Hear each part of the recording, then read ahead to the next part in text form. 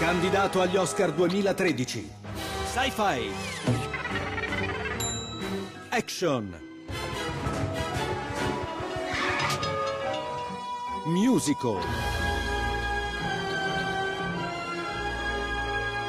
In soli 4 minuti, in prima visione e in 3D. The Longest Day Care, il 17 febbraio alle 21 in contemporanea su Fox, Sky Cinema e Sky 3D.